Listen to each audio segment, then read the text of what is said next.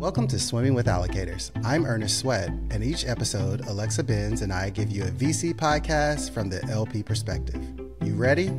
Let's dive in. Today on Swimming with Allocators, we have Chris Douvos, the managing director and founder of Ahoy Capital.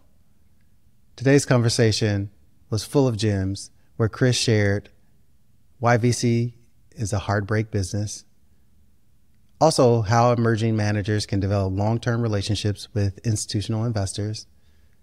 And lastly, what could happen to the next generation of GPs? With that, let's jump in. Today, we are speaking with Chris Douvos, Managing Director and founder of Ahoy Capital. Ahoy Capital is a boutique fund manager that focuses on early stage VC through fund and direct company investments. We are so thrilled to have the one and only Super LP here on the show to share his perspective on this asset class. Thank you for joining us today, Chris. Hey, it's my pleasure. And by the way, I have to say that Super LP was not a nickname I gave myself. it has nothing to do at all with my investing ability. Sure, sure, no, sure. No, it was I was at a, on a trip with a good friend of mine, a guy named Du Chai, who then was at the Northwestern Investments office, and now he's at um, at Horsley Bridge. And we were on a trip that like I mispacked for. We were in London, and I had and I was wearing like a red T-shirt that like I was gonna work out in, and I was it was like pressed into service and I had a little red sticking out over the top of my collar and uh, of my dress shirt. And Deuce said, "What is that? Your Super LP shirt?" you know, underneath. I said, and hence a nickname was born. So that was like 2002, 2003. It's it's been a while. Can you share with us your journey to uh, your LP seat? Sure. I mean, it's been it's been a long time. Um, uh, that I've been doing this. I never thought it'd be this long, but it's been awesome. And I'll tell you, like I I had a pretty like boring business background, but um, but uh, after after I spent my business school summer at Morgan Stanley, I was like, man, I want to do something more interesting than this. Investment banking was like crushing my soul, and I realized I wanted to be a principal, not an agent. And um, and I talked to a friend, a guy named Seth Alexander, who's now uh, the CIO over at MIT and I, you know, Seth was then in the Yale Investments office. And I was like, "Tell me about what you do." And he like told me all about it. It was amazing. Um, I was like, "Wow, this seems really interesting." He says, "Yeah, it's the closest you'll ever come to you know managing your own multi-billion-dollar fortune." You know, I'm a child of immigrants, so multi multi-billion, you know, multi-thousand-dollar fortune was all I had ever thought about. But um, but you know, endowment management is amazing because you have low liquidity needs, long time horizon, few tax headaches, a single client, all this stuff that makes endowments such great investors. And so, fast forward to 2001, the summer of 2001, our guy who did venture at Princeton quit um, to go to another university and they were like, "Who wants to do venture?" And it was 2001. It was like grim in venture, and it was like you know the nose game where everybody like touches their nose, and and the last person to touch their nose has to do whatever, like clean up Thanksgiving. like we we basically did something only a hair more sophisticated, um, uh, you know, about venture. And I was like, oh, I'm doing venture now. This is amazing because it really jived with kind of like my vision of of what um, you know how I wanted to contribute to society and be part of this idea of like you know the, this America that was ever ever moving forward and and the child of the real and the ideal, the genius of the modern. And so I was like, this is fantastic. And I came out to California and I was like excited to get out here. And then like I came back like drunk with ideas. I was like, this is freaking amazing.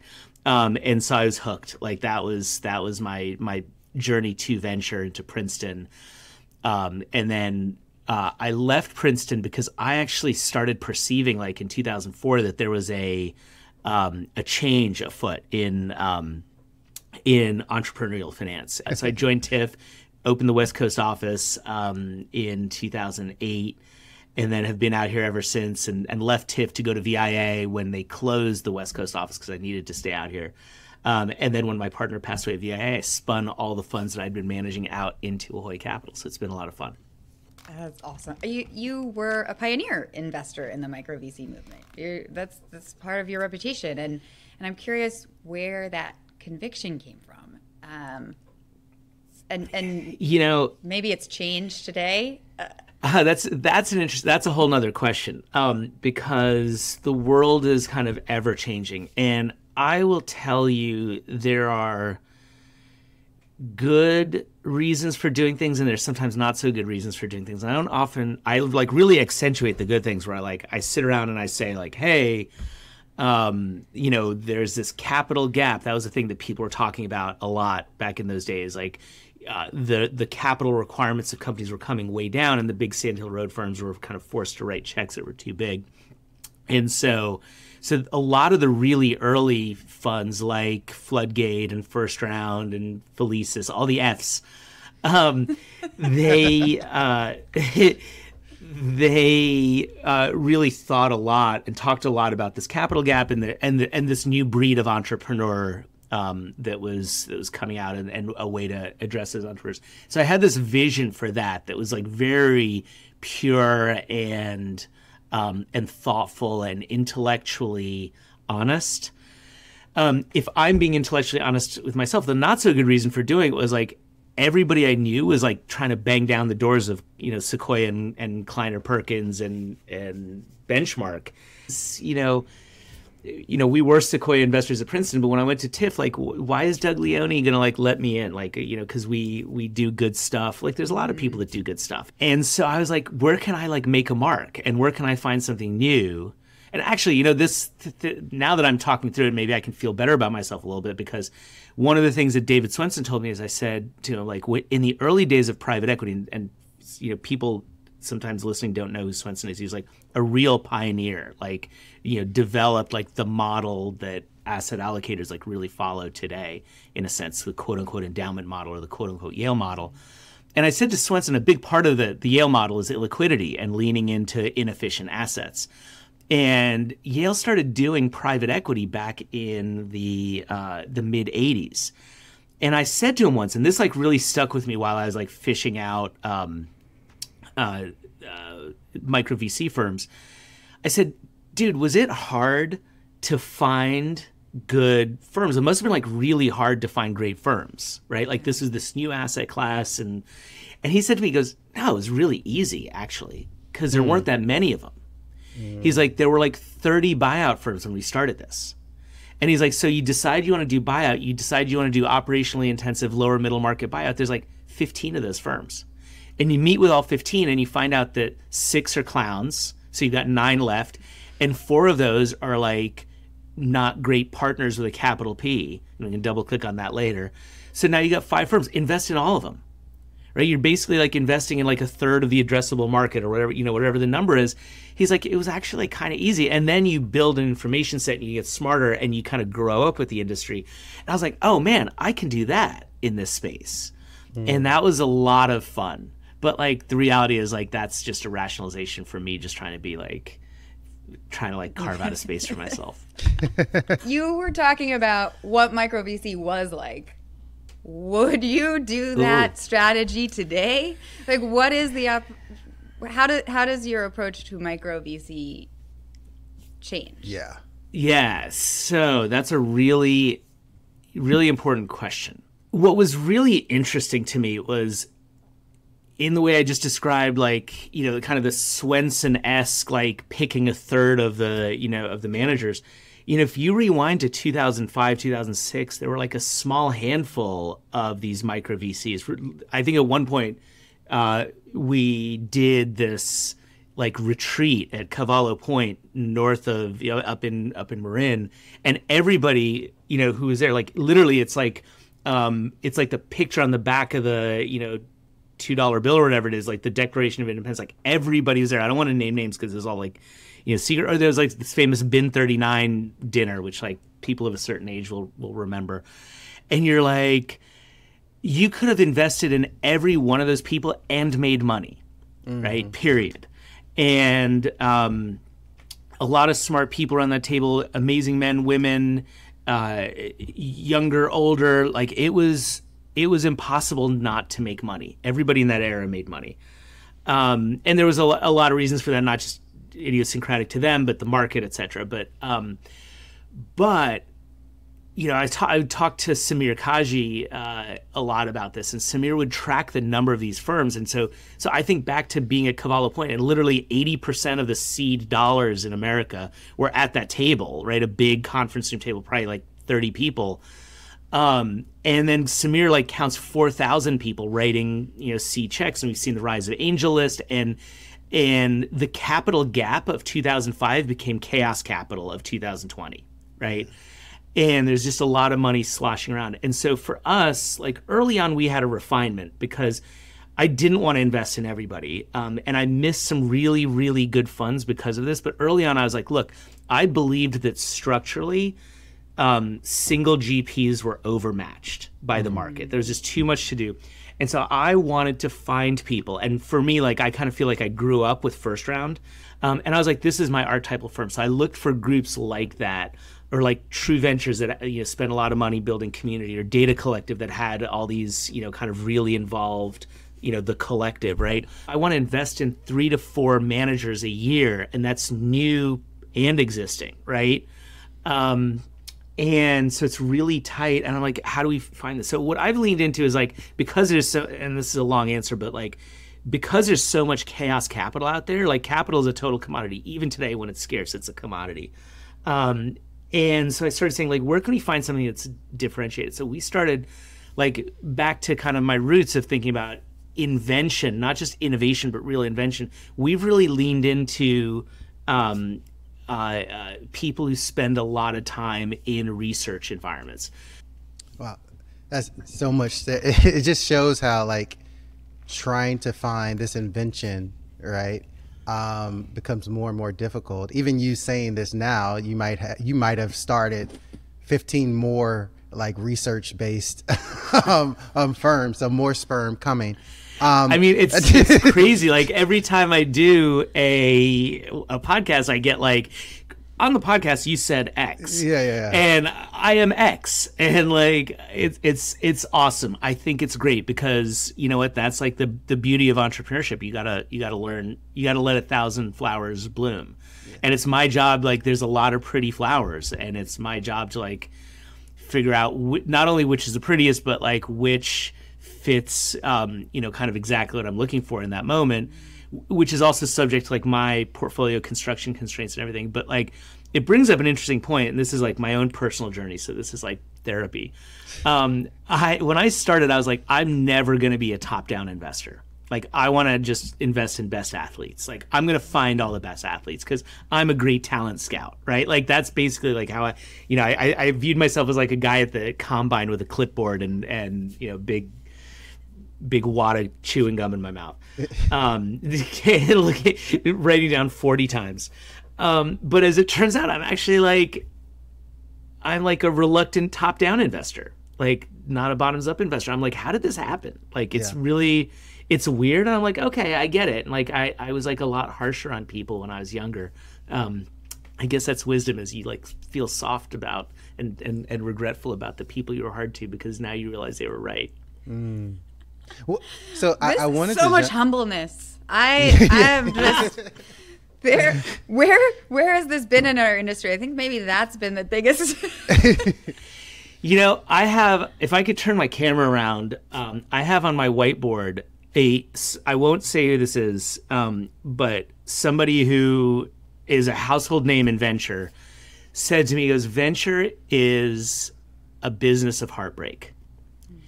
And nobody like actually like thinks that like that's actually a new screen I've like added to my new investments is I want people who are writing checks pre 2016.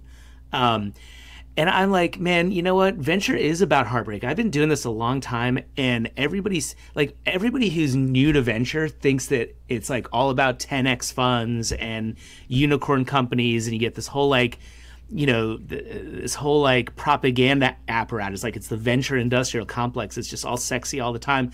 And man i've been doing this a long time and i think i have a pretty good track record um, if for no other reason because first round two was like a 45x net fund and i'm like um, that like trumps all my other sins. Um, but man, if this business just kicks your ass and grinds you in ways that like people, a lot of people are doing it doing today, like have no idea. Yeah. Now, now we're getting into therapy because the the the good and bad thing about venture for me, the reason I, I felt like it's such a unique career path because it resembles life more than any other industry to me. You can meet Yep. people for you just and then think like, why did I meet that person? Like, what was the point of that? And then you can remember, hey, that was a great opportunity. I would bet on that entrepreneur again. It just didn't work out. And so Yeah. that is life. Like those are those cus- you know constant lessons.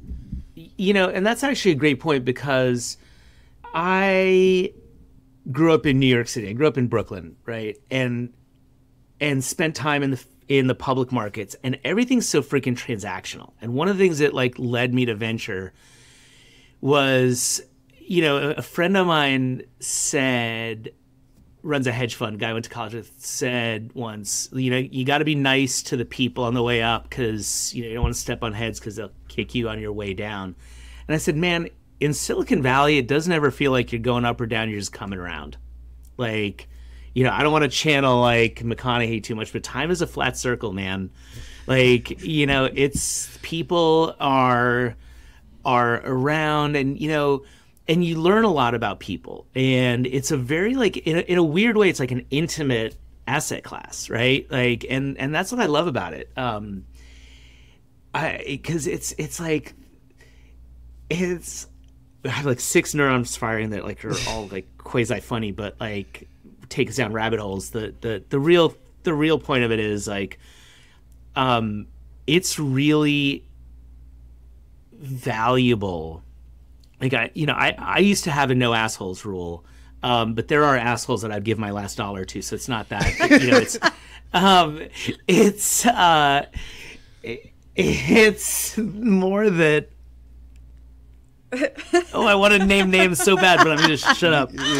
Um, it's it's more that you want to understand how people act in their behavioral footprint and whether they act with integrity or not, right? And and you know it's everybody. It's fund managers. It's it's portfolio companies right? Like there there are like life defining moments right? And and the average venture fund lasts twice as long as the average american marriage. It's you know like just as in marriage it's like ups and downs and work. In the public markets you don't like a position you don't like the management they can fuck off. You sell the stock right um, in venture, like you're kind of stuck with that entrepreneur. I'm dealing with a direct investment right now where it's just like it breaks my heart for these guys because they've put every last penny in and um, of their like life savings and they've done everything and like just watching their entrepreneurial journey and their struggle and i'm sitting here and i'm just like man you know life is hard Yeah.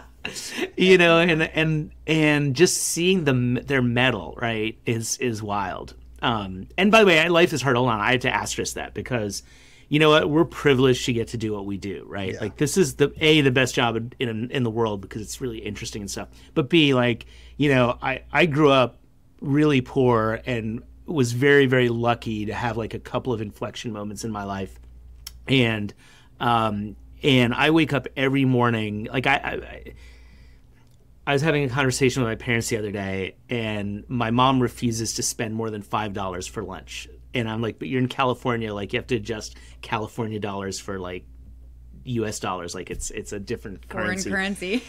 Yeah, exactly. Right. it's like Italian lira.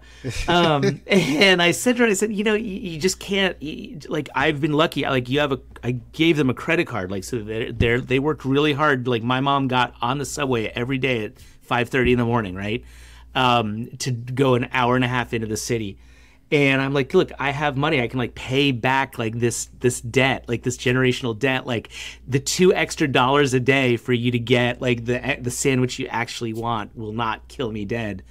Um, and it's like a good. It's always a good reminder to me when people you meet people in venture, like especially these young people who like get get caught up in the Hollywoodification of it, and you know it's it's a it's a there's a whole world out there, and I think as a danger that we have as an industry is that we're like becoming more and more out of touch um, you know with what's what's going on in the real world and the real economy. And and that's something that we're going to be grappling with um, as a nation for the rest of my life. And we're seeing articulated in the political environment and and the economic environment all that stuff. So that's you know the, all that stuff's above my pay grade but um but that's something i spend a lot of time reminding people you know we're really lucky to do what we do.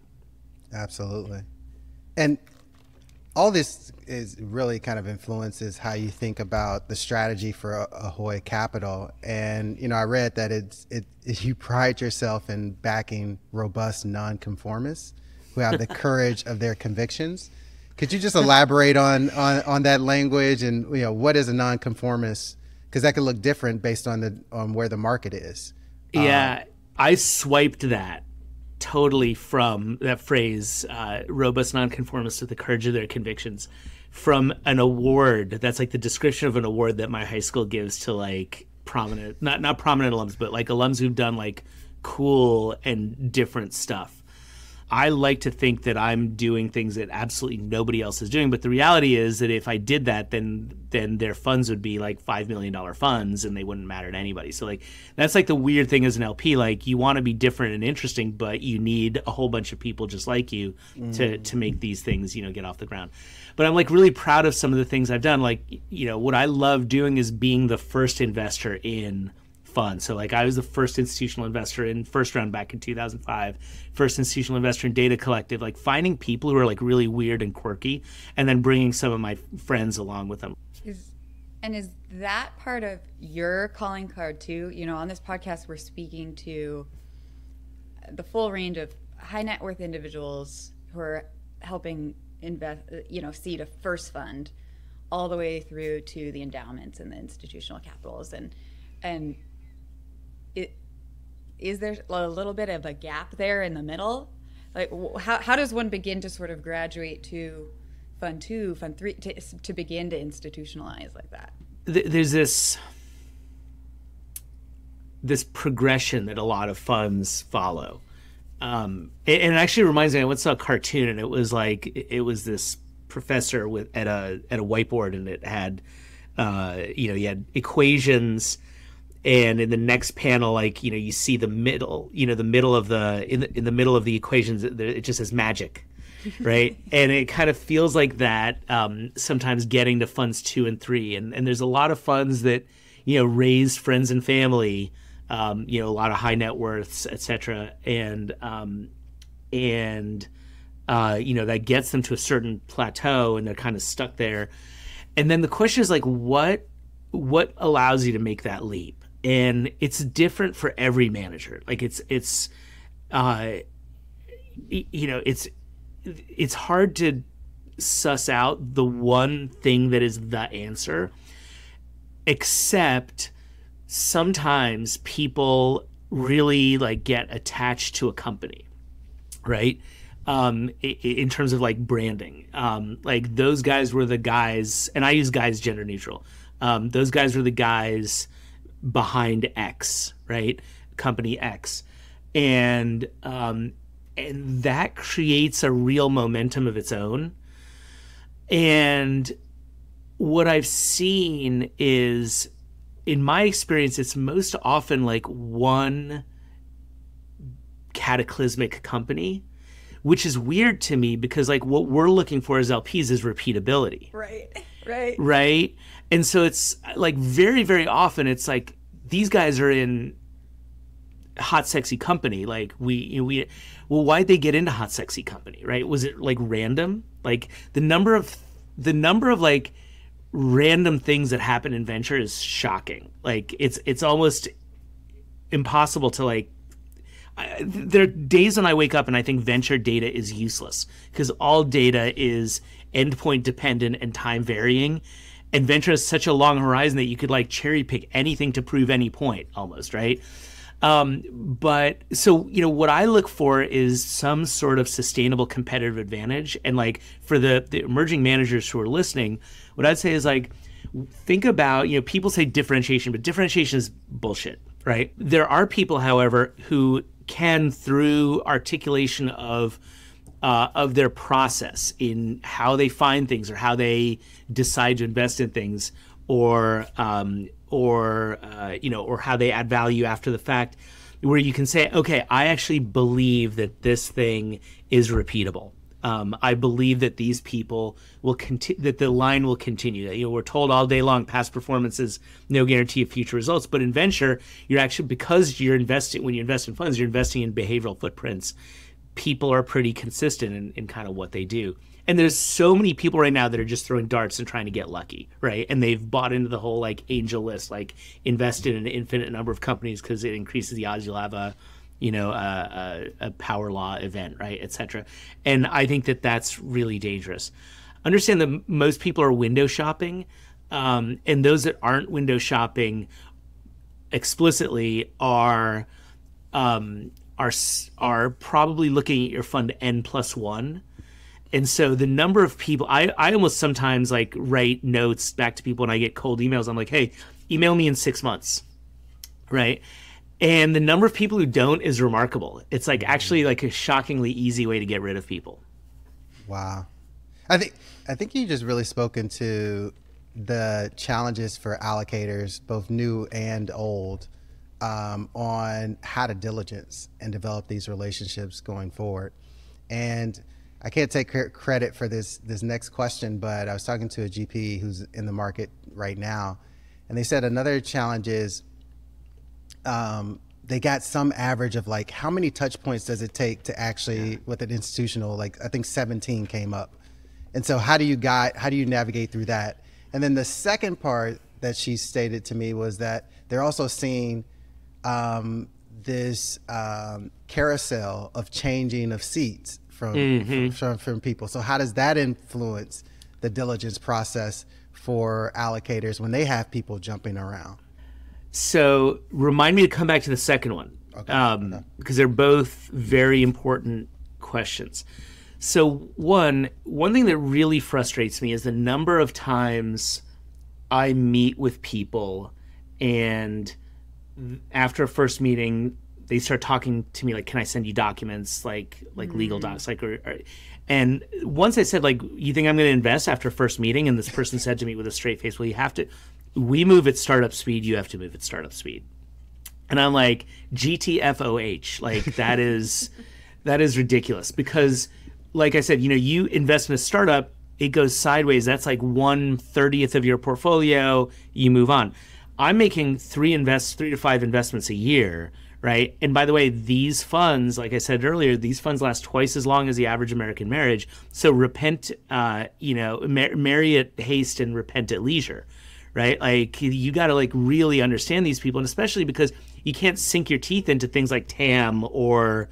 Uh, you know, or management team, or whatever, um, you know, or or, or com- you know, um, competitive moat, whatever product, you know, whatever, wherever you are like investing, you can't sink your teeth into that. You have to understand people and people change, right? People's behavioral footprints are generally um, consistent over time, but their motivations change. And there's so many people who call in rich and, you know, people who become full of themselves, right? After a couple of successes and like, and that changes their investing behavior on the margin.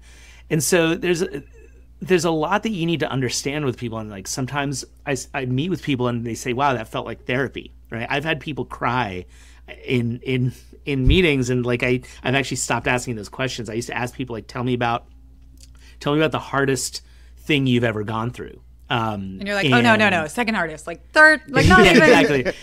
but but like actually, it was like one person who cried was a, a woman who was like a, a, senior tech exec for a long time, and she talked about like the sexual harassment and um, you know that she faced as a young sales rep at big techco in the you know late 80s and it was very like moving for her. And it was very like i, I was like super stressed out. I was like i, I don't know. Like I, I, feel bad. You're crying. Like i did this. Um, but she was like look that actually made me who i am. Right? Mm. and it's you know that, that it sucks that that had to happen. But like this is somebody who is like an ass kicker right? And so so short story long um, you need you need to understand that. The second question which is actually you know uh, what I would tell what I tell people I get a lot I hear a lot of complaints and and especially endowment world is a big um, can be a big uh, uh, you know kind of rotating carousel um, or revolving door or whatever. The thing you need to understand if you're going to be in the financial markets, you have to have an intimate understanding of the principal agent problem, right? Some people act like principals where they act like it's their own money and they have they're incentivized and motivated. Um, and uh, and some people are just agents and they're there for the transaction, right? and like and i've gotten people have asked me like what is the principle what is it what do they mean by that and I, what i say is like some people get paid by the number of meetings they take like that's their metric right and if and that's the person who's going to be window shopping you so like it's really hard to um for new managers to kind of suss out what people's motivations are. But the more you can get at like are you making investments? When you do make investments what kinds of things do you like? Um, do we look like anything you've ever done before? Do we look too much like things you've done before right? Mm-hmm. like there's a lot of these you know the, the quicker you can get at that the more you can qualify that uh, that person. Chris, every everything you're saying, we're we're on your we're all on this with you. I feel it. I feel it. You guys are like step for step. I feel like it's like I'm a receiver and I've got Sauce Gardner on me. Yes. yeah, honestly, honestly, I was like, man, this might have to be a two parter, but um Hey, this uh, is fun. You guys are great. Like I, I, I'll talk to you guys all day long. now we're going to take a quick break to speak with our sponsor. With us today is Tyler Kirtley, partner at Gunderson Dettmer PitchBook has named Gunderson the number one law firm globally for investors five years in a row. Our guest Tyler is a dear friend from college. His practice focuses specifically on structuring, forming, and operating VC funds. Tyler is the darn loveliest lawyer to work with out there. Thank you, Tyler, so much for your advice and expertise. Is there anything, I don't know whether it's sort of a story that keeps getting repeated in the news or VC Twitter etc., that you find yourself with a counter opinion or a more nuanced take? You know, venture is a, a high flying industry from from time to time, and there are companies that are high profile that have high profile stumbles or crashes. So we've just all gotten the news alerts over the last week about FTX, and um, and I think there's a segment of the population, particularly the traditional financial world, that looks at that and uses it to label the whole industry. But I think being inside the industry, I see what a productive and important sector of the economy the venture industry is. Um, so I think about my clients. They're very thoughtful, smart people. They're investing in companies developing new science. Um, creating software that's going to help businesses be more efficient, secure, um, or creating new consumer products. And uh, it's it's a great place for me to work. I know when I help a client raise a fund, that that fund's going to turn around and invest in in companies with big new ideas that are going to hire a bunch of people, and that my client's going to use their expertise to help those ideas come to life. So I think it's a productive, essential engine of the American economy, and um, and and so I don't know if that's a contrary view, but it's it's certainly uh, my perspective on the industry as a whole is that it's despite some some stumbles and excesses, it's a very positive, productive place to be. Yeah, yeah, and uh, with it's a lot of that hope and dream is sometimes around hype. And it's like even without the hope right. there's there's a lot there. Uh, even without the hype there's a lot of hope. Yes. Yes. Curious how law firms like yourself think their services will change over time for gps yeah. So i think we're constantly thinking about how we can make our services more efficient for clients so that we're focusing on the high level issues that they're facing uh, active negotiations and less time on some of the more automatable tasks that aren't honestly as interesting for us to be doing. Um, so one example of something that we worked on as a firm, I, actually worked on it as well, was the formation of the Gunderson online fund formation platform.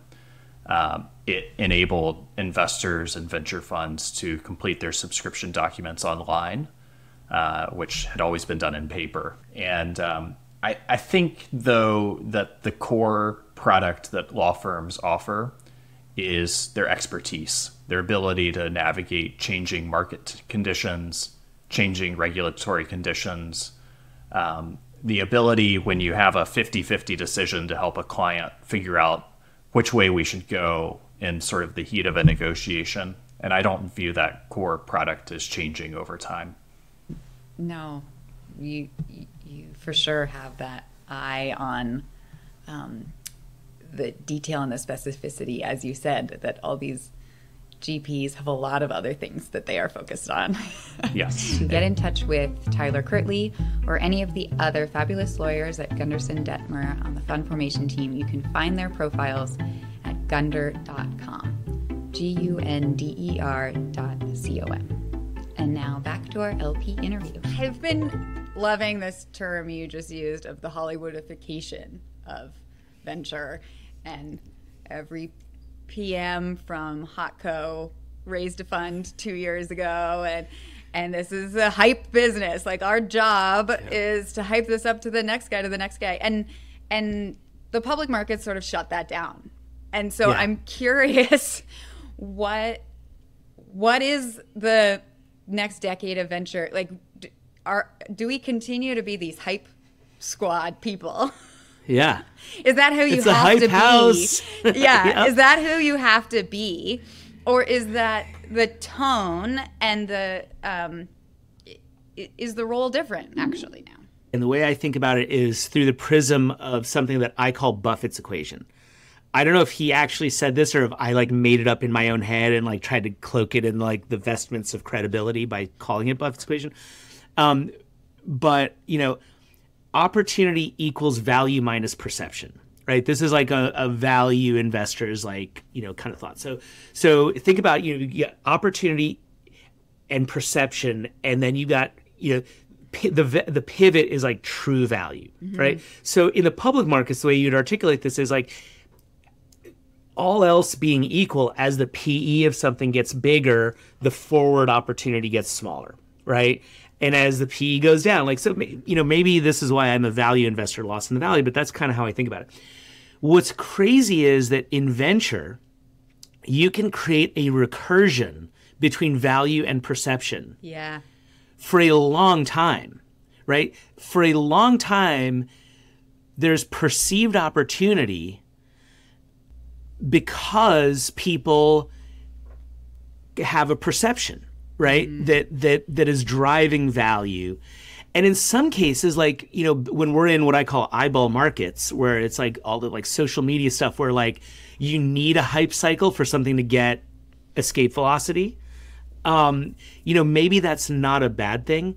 But ultimately there is an intrinsic value that's disconnected from the perception right and um and we in venture because we don't get marked daily we get marked quarterly and really like only the 18 month financing cycle 18 to 24 month financing cycle which sometimes shrinks to 12 months but is still a long long time. Because we don't get marked daily we lose sight of that.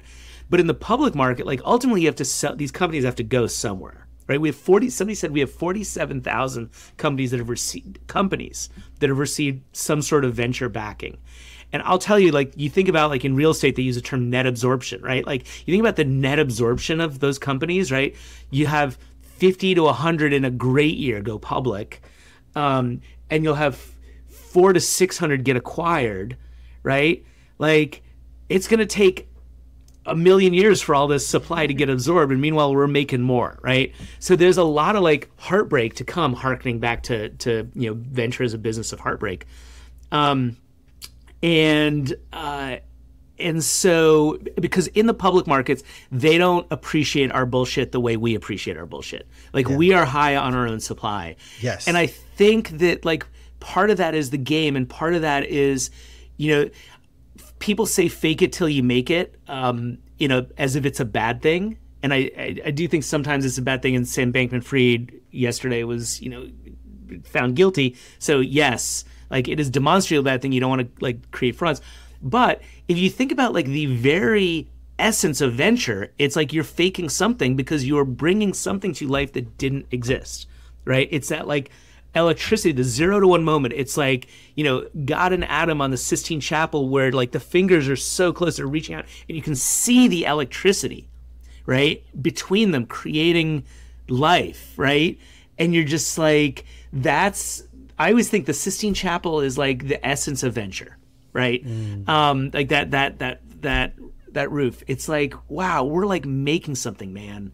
Um, you know, and by the way, I'm not endorsing creationism. Like I'm just saying, like that that painting, like it's just fucking electric.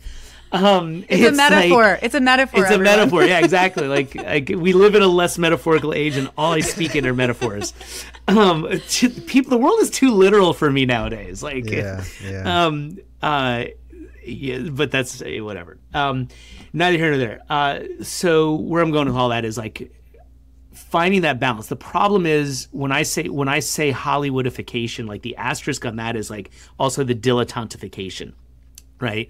Where I think people like I have this like platonic ideal of venture people being um, you know, kind of dynamic catalysts who help unearth, you know, technologies from excuse me who help unearth, um, you know, kind of technologies that you know that didn't exist that are making the world a, a better place and are committed to the entrepreneurial journey.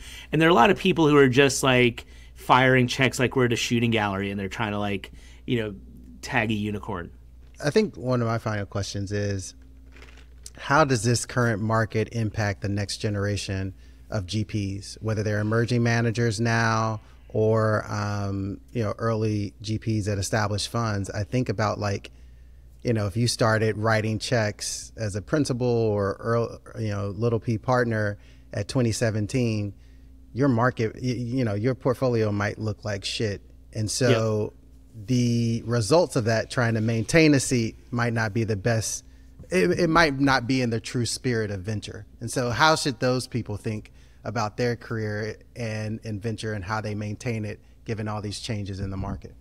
Yeah, and look, I, I gotta say, like, the way you ended that question was was also really interesting. It was like their career and venture and how they maintain it. Like, I'm not convinced that venture is the best path for everybody. I think a lot of people came into venture, particularly people coming from operating into venture because they thought they were like going up the capital stack or something. And you know it became a thing to do like you know going to law school is a thing to do after you know being a humanities major right? There are a lot of people in venture who should be operators. There are a lot of people who are there are a lot of people in venture who should be founders.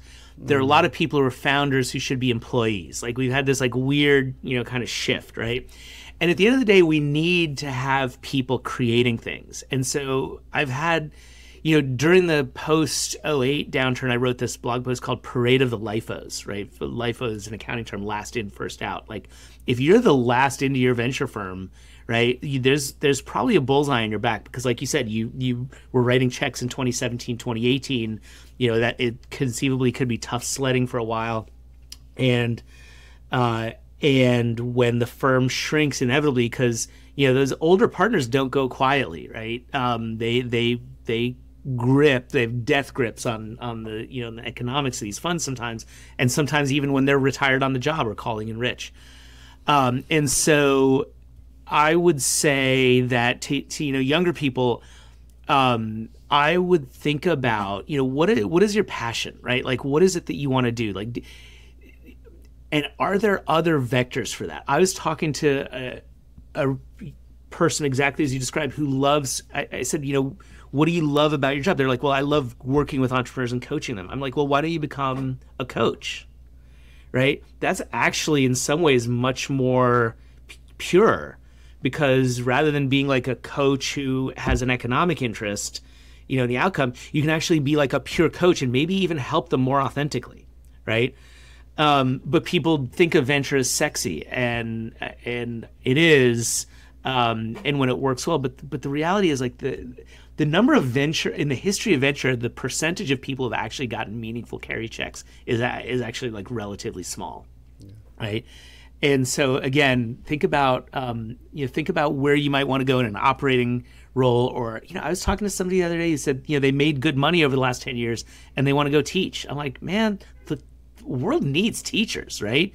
As KRS-One said, teachers teach and do the world good. Kings yeah. just rule, and most are never understood that I don't even know how to uh, res- uh, respond after. That's a that's a mic drop. Uh, well, we we know you you mentioned your phone's been blowing up today, so I'll I think we can wrap it up. Frankly, that we've had so much fun. Thank you, Chris. See you later, alligator. After portfolio tile, investing with a smile.